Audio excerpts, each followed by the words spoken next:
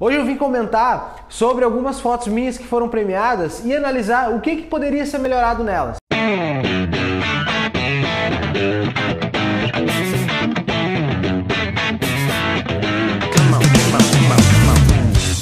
Fala gurizada, tudo certo? Sejam bem-vindos a mais um Não É o Canal. Olha só, o Não É o Canal tá no YouTube e também tá no Facebook. Então, se tu tá vendo no YouTube, vai lá no Facebook, curte a página, porque lá na página do Facebook tem outros conteúdos além do Não é o Canal para tu curtir durante a semana. E se tu tá vendo no YouTube, dá aquela força e vai lá.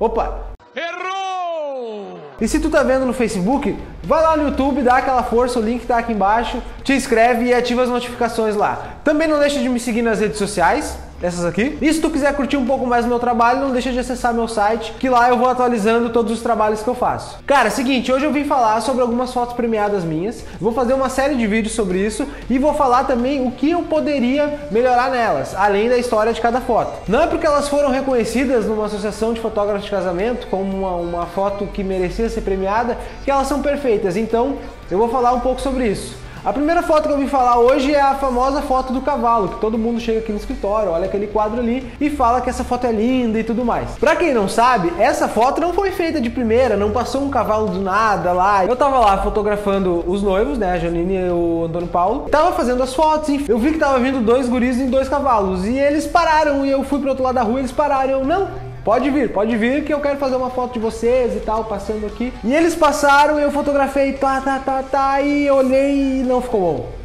E daí eu olhei para eles assim, eles me olharam assim, eu... Não, volta, volta, volta! Eles se olharam com aquela cara de, de desconfiança. Assim. Daí eles voltaram, fotografei, fotografei, fotografei, olhei, puto, não tinha dado certo ainda. Como você é burro? Daí eu falei, bom, vem de novo, porque eles estavam indo para lá, né? Pelo menos eles vão pro caminho que eles estavam indo. Daí na terceira vez eles foram passar, daí passou um cavalo quando passou o outro. Daí nesse momento eu tive a sorte que passou o cachorrinho junto e eu fiz a foto, consegui fazer e tal, deu bem certinho ali. Uh, uma coisa que eu melhoraria nela é o seguinte. Nessa coisa de vai e vem do cavalo e tudo mais, eu meio que esqueci da direção dos noivos lá no fundo. Dá pra ver que eles estão um pouco engessados, assim, eles começaram bem, bem abraçados e tal, com o buquê no lugar certo, enfim. E à medida que o cavalo foi passando, indo e voltando, nisso se passou uns dois minutos, eles foram desfazendo a pose, desfazendo aquela direção bonita que eu tinha feito. Então, isso é o que eu melhoraria nessa foto. Para mim, a parte do cavalo ali, do cachorro, tudo muito certo. Só que eu melhoraria lá os noivos na direção mais, mais envolvida com a cena. Ficou uma foto bacana, uma foto interessante. Ela ganhou um prêmio na Inspiration Photographers e é uma composição diferente que a gente não vê todo dia. É uma foto que eu gosto bastante. Outra foto que eu vim falar aqui hoje é essa foto aqui, ó. É uma foto que eu gosto muito pela mensagem que ela diz, é a foto que eu fiz no ensaio da Clarice do Márcio, lá em Porto Alegre. O que, que essa foto diz para mim?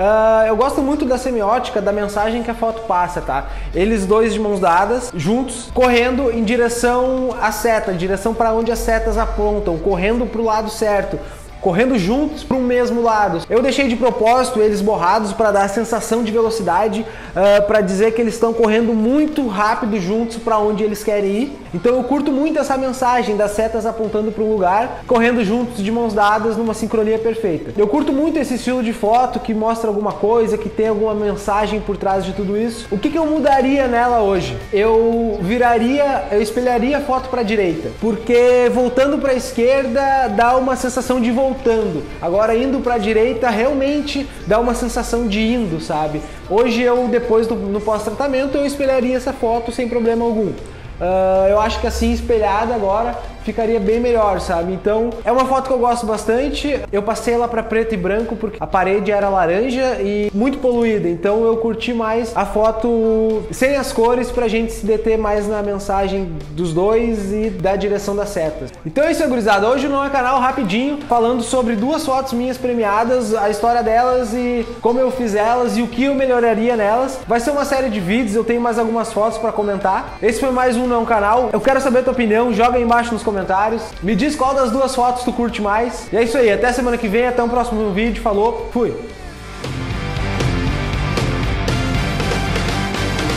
Chip off your black man, you're so much like your sister. My fantasize, it must be out of.